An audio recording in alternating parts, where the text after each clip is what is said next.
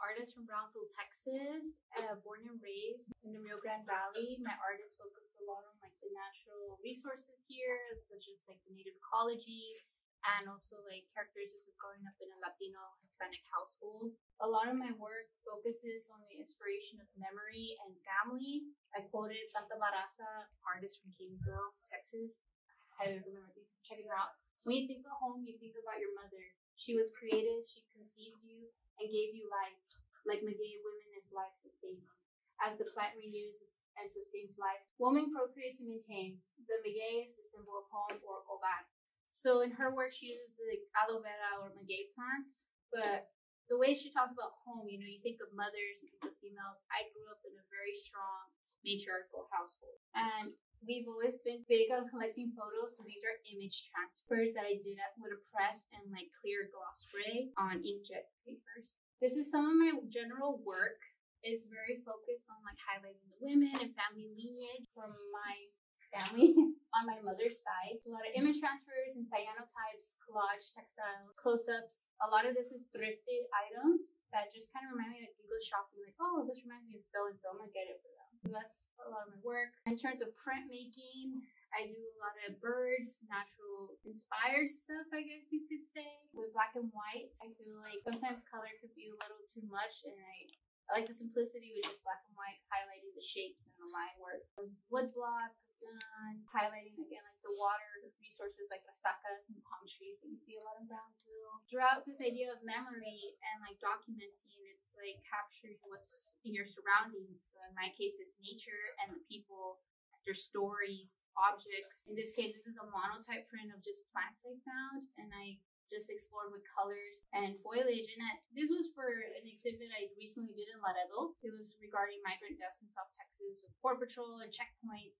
And unconsciously, I did like Border Patrol colors. You know, it's like you think about it, the uniforms like match the landscape, right? Purposely so, unfortunately. In regards to like environment and like observing how we all like engage everyday life is connecting to like small is beautiful the book that the library is like highlighting this semester in his book, Small is Beautiful, he argued that the capitalism brought higher living standards at the cost of deteriorating culture. His belief that natural resources should be conserved led him to conclude that the bigness, in particular large industries and large cities, would lead to depletion of their resources.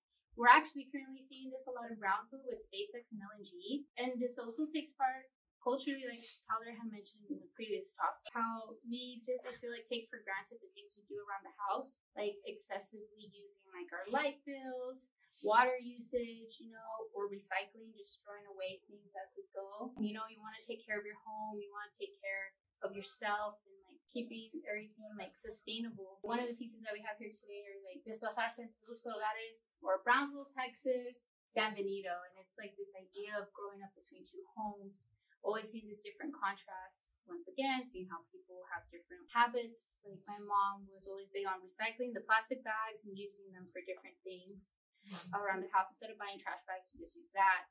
Or having tote bags when we go to the grocery store. And my grandmother's, it was always making your own things, like making your own clothes, repairing your own stuff, washing things by hand, like your dishes or your clothes and air drying it. It's like a sense of resourcefulness. And with this idea of home, it's like things you hear, like little folklore stories or like looking back at, I guess, like everyday stuff.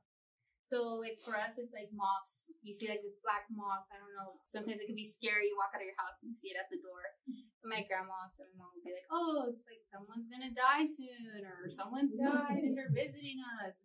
And we're Catholic, so it's like always in prayer with mourning or making sure someone gets better. So I did like a time of faith or tiempo de fe con la polilla, moth, and a rosary. You know, it's like kind of blend into this old like folklore story narratives that I've encountered. And a lot of my work is based in printmaking, relief print, general term of printmaking. You cut away the excess and what stays behind is like this elaborate stamp and you could print multiples. And the beauty of printmaking, everyone can have a print. It's not just like a drawing or painting. Like, you know, you could make so many and you could share with people around you. So this is kind of like how I start. Traditionally, you draw it out real nice and then transfer it.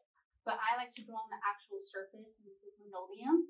These are carving tools they're like little shovel knives, I guess way to say it. A lot of the imagery I use is from hearing people's stories, observing how people go about using objects, symbolism like animals, colors, textiles. This is how actually you carve it, you know, like drew it out, put it in to see where I cut, and you just that's how it goes into the stamp. It's again like kind of like troubleshooting like where to place composition because everything starts in reverse. And so when you print it, it flips and from this creative process for print, I've been trying to move into more installational work, like trying to create, bring the environment to the person with what I have to work with. So instead of thinking out of the box, think in the box. See what is around you, and that's another way of being resourceful. Whether like you're not in school anymore, it's like how do I print? Oh, you can print by hand with a spoon.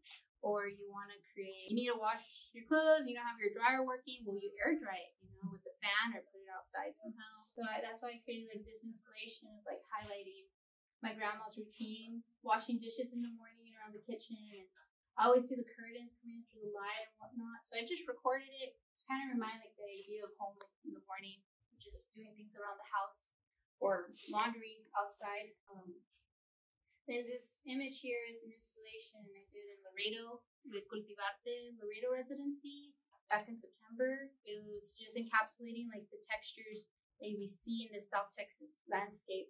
And within that collage, it had like um, descriptions regarding like death that takes place in the shrublands between the river and the checkpoints.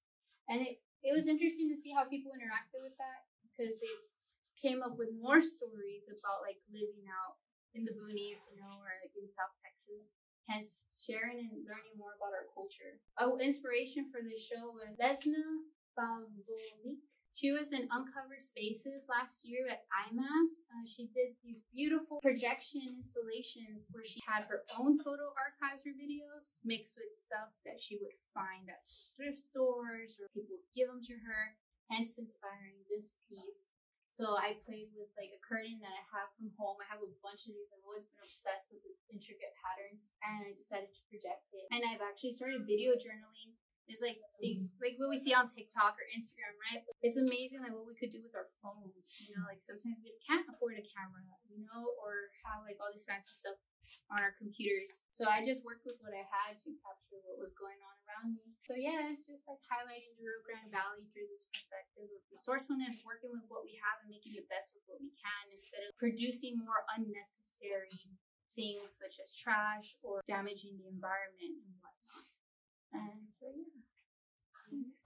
Thanks.